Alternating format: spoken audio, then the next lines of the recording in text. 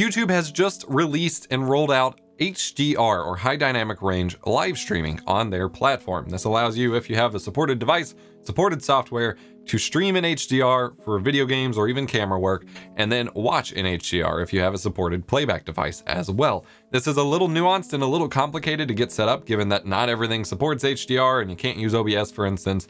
So we'll be talking about what you need and how you get set up in today's video. This video was brought to you by Nerd or Die and their new Glitch 2 Cyberpunk 2077 themed stream package, which features overlays, alerts, be right back and stream starting soon scenes, a whole chat box theme, and stinger transitions, along with other elements specifically designed for the Cyberpunk 2077 game's theme. Now, this is actually available as a free update if you already owned the Glitch 2 package. This is something that Nerd or Die does regularly when they add updates or you know, new features to packages you've already bought, you don't have to pay for them again. You just get that as a freebie. So if you already owned Glitch 2, then you can get the cool new webcam frames and the social media icons and all the new theming for free. Otherwise, pick it up for yourself. It is Glitch 2 with the Cyberpunk 2077 edition theme, available at eposvox.gg slash nerd or die.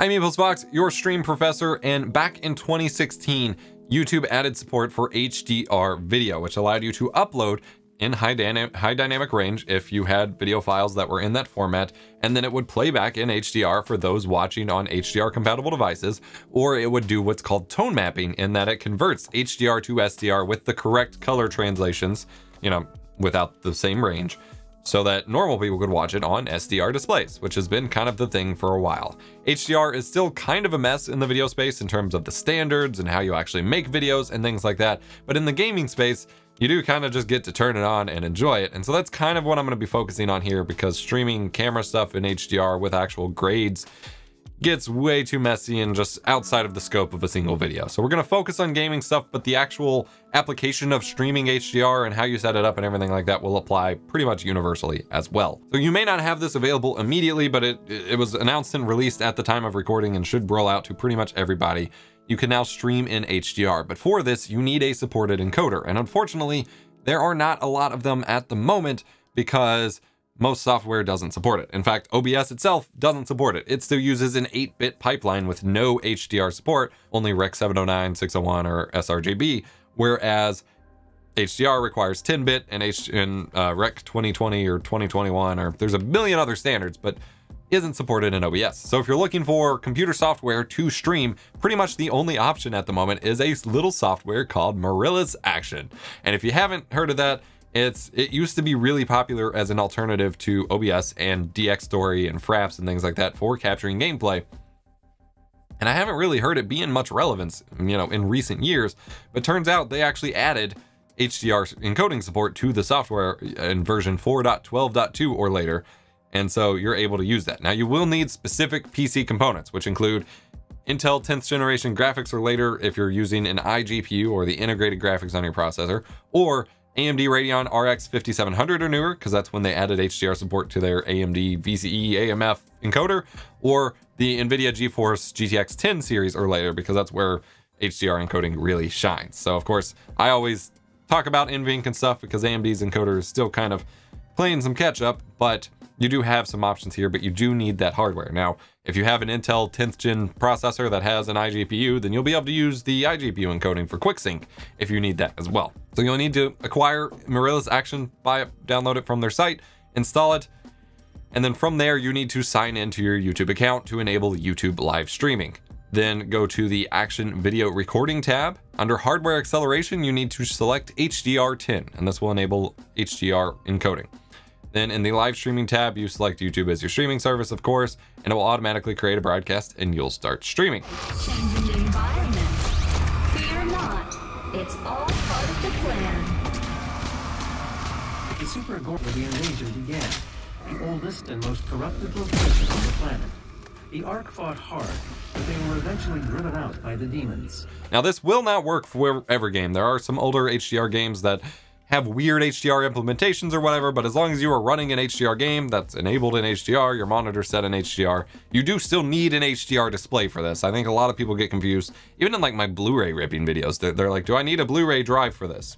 Yes. Do you need an HDR display for this? Yes, because otherwise your game's not running in HDR. There's no HDR to capture. So you need an HDR monitor. You need your game running in HDR or a capture device that's pulling in HDR. Although currently the main available options for that are all forcing it to SDR whenever you're sending it to another program. So like the Elgato 4K 60 Pro and the AverMedia Live Gamer 4K, both of those can record HDR in their own software, but when you you know put the signal out to another software, it's forced to SDR. So currently, this is only for like on PC game capture, but I will update you when that changes. So run your game in HDR, open up Mirillis Action, hook your game, enable HDR10 as your hardware acceleration, and then start streaming, and you're pretty much good to go. Now, if you want to use external video encoders to do your HDR streaming for like a broadcast event or something like that, you will need a uh, HLS output compatible encoder, which needs to be able to support HEV encoding. And this is the first time we've really been able to send HEVC signals to YouTube, which is pretty cool. Uh, it needs to support 10-bit, you know, 10-bit encoding, BT 2020 color space, and then some other things that they have listed in their compatibility requirements here. The only officially listed uh, hardware encoders that they have supported are Cobalt, which are compatible with 10-bit and HDR, as well as Telestream.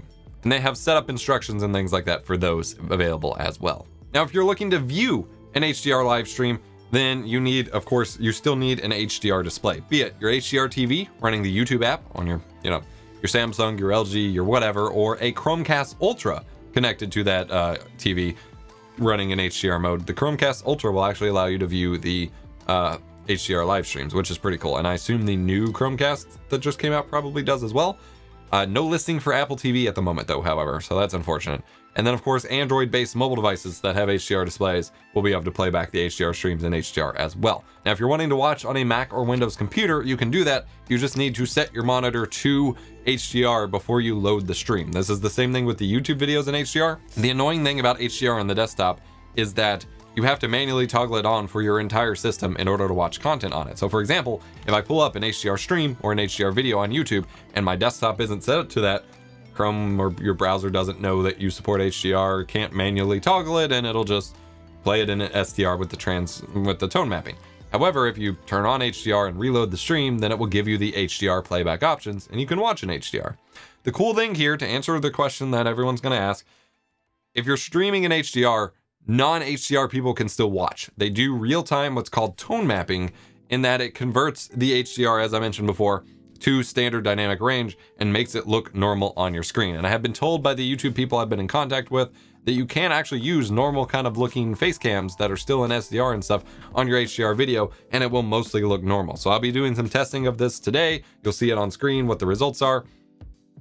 Keep in mind, however, graphics and things like that that you have are going to look a little dull or washed out on an HDR screen if they're not built for HDR. The Digital Foundry runs into this issue on their videos all the time because SDR and HDR are completely different ranges. So if you have SDR assets in an HDR stream, they don't look quite right. But this is a first step towards unlocking, you know, more of that HDR capability in the future. It seems everything's heading that way. So you have the option of streaming it here and it's pretty cool that they are rolling it out, even if it's kind of early in maturity in terms of what can actually support it.